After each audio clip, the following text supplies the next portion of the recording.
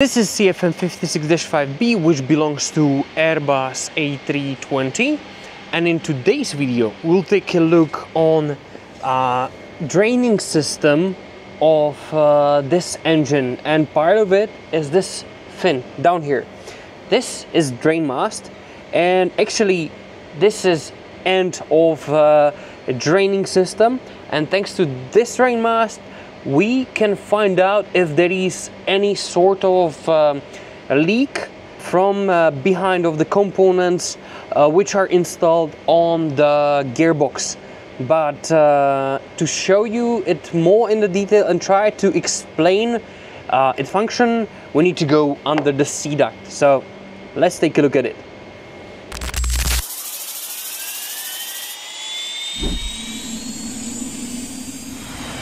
here we have our drain mast and it is made out of let's say several components.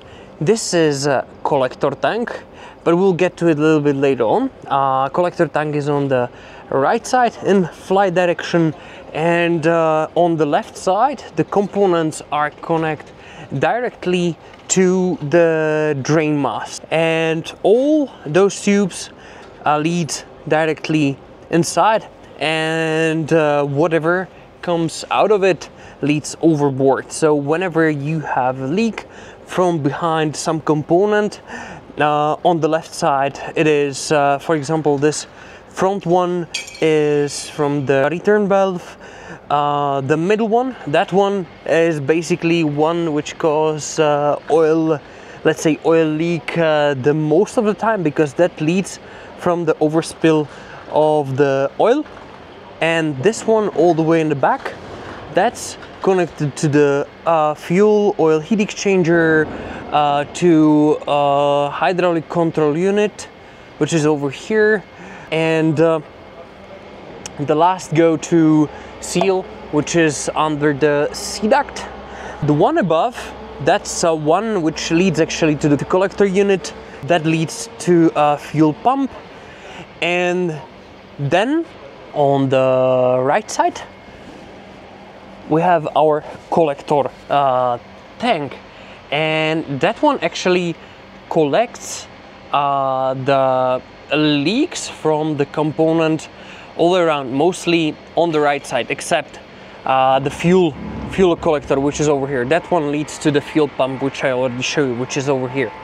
Uh, those collector tanks collects leaks from behind of the component. So uh, if we look over here, this is our starter and you have a space between a component and accessory gearbox.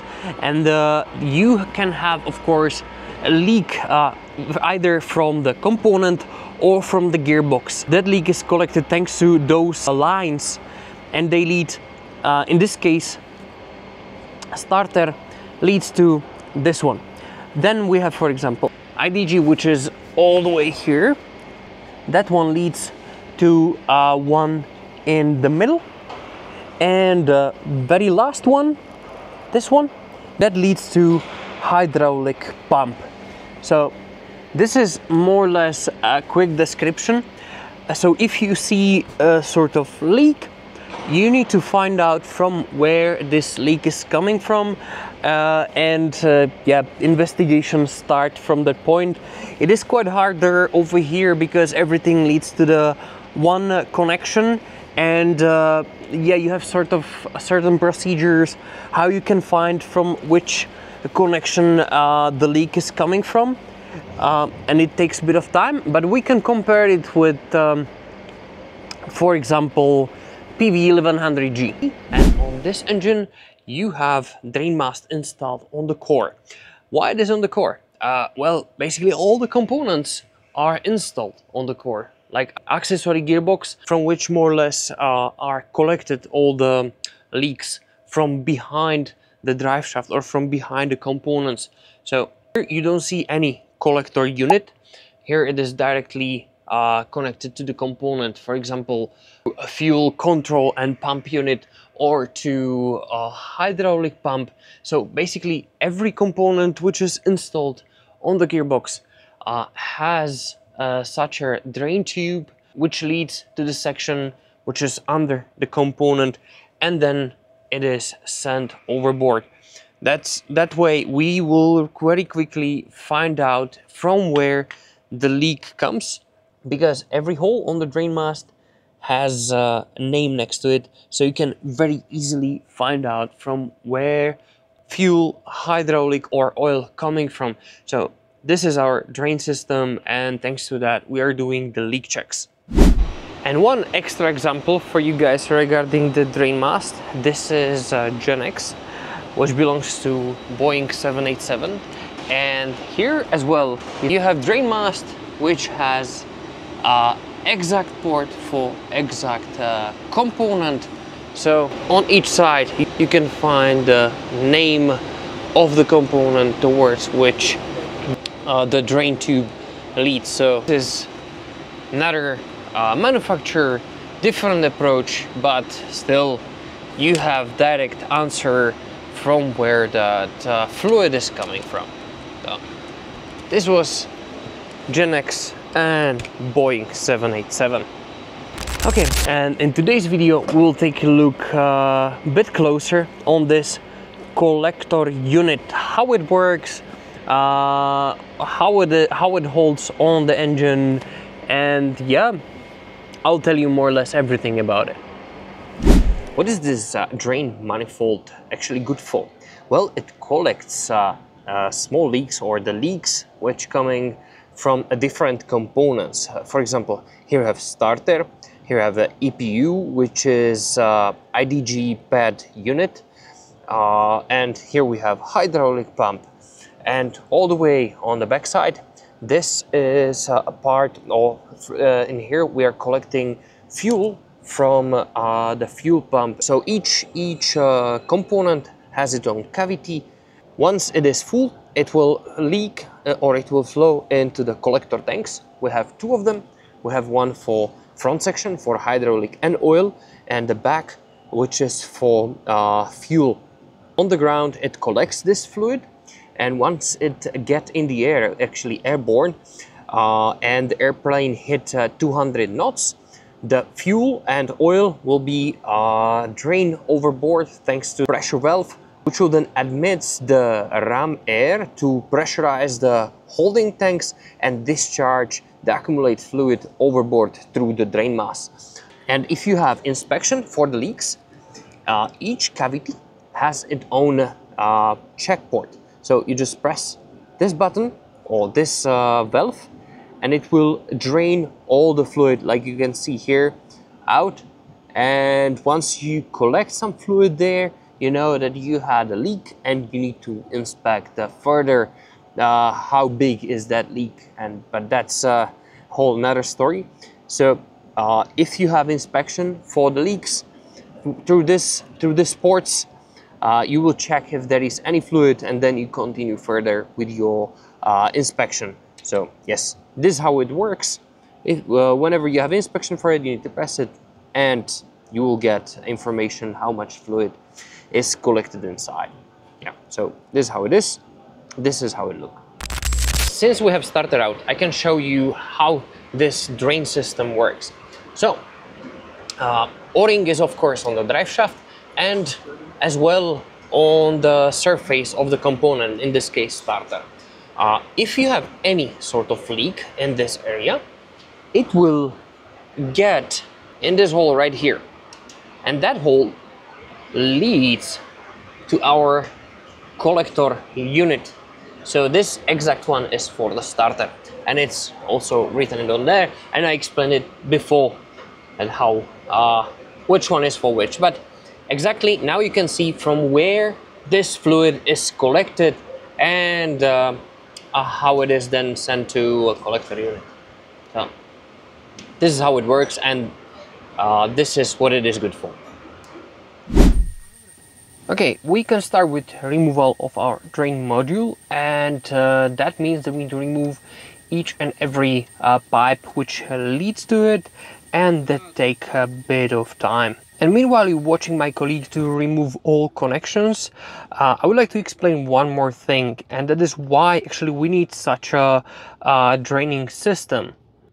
All these fluids which a draining system collects, like fuel, oil and hydraulic, are flammable. And in case of leak, you don't want to have such a fluid collected inside of the fan cowls and waiting to be uh, spill out somehow. We need to lead them overboard and exactly for this reason we have this draining system to not have a contamination inside of the fan cowls because in case of fire we'll have a huge problem to extinguish this fire with extra fluid which can be inside of the fan cowls. And the second reason I already explained, it helps us to identify the leak as soon as it appears, which means that it reduces the time of the troubleshooting. Okay, that's about it. And meanwhile, we remove all the connections and all three bolts which holds the module on the place. And unfortunately, we found one small surprise. So we pulled we pulled the collector unit, uh, but uh, problem is that the bracket which holds it on the gearbox uh, been cracked. So we need to replace it. Luckily, we have one on stock and yeah now we need to remove the remainings from the transfer gearbox. So yeah that's the next step. First we need to change the bracket and then we can install the unit this little bracket causes a bit of issue because uh, it is installed on transfer gearbox and transfer gearbox is nor not normally replaced on the line. And to find the values and if we actually can lose the nut without causing other problems we need to browse through the component maintenance manual which is part of the engine manual. But in the end we found everything every information which we need and we was able to install the bracket without issues, find the proper torque, and now we can install the unit itself. And actually, this bracket is example of issues which we sometimes face.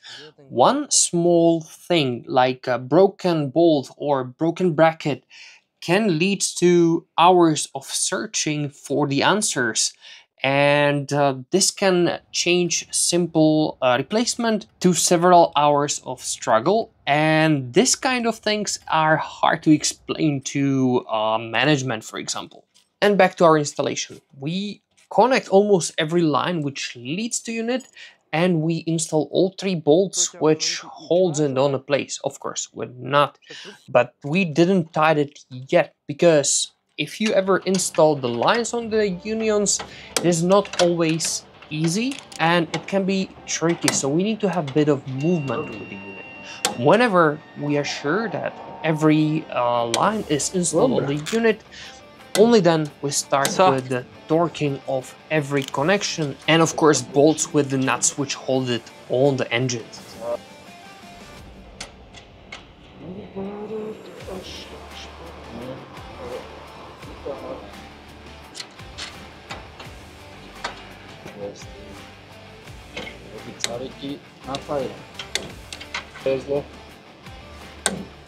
Či to náhodou nerobí nějaký protitlak trochu, víš, zase. Jak?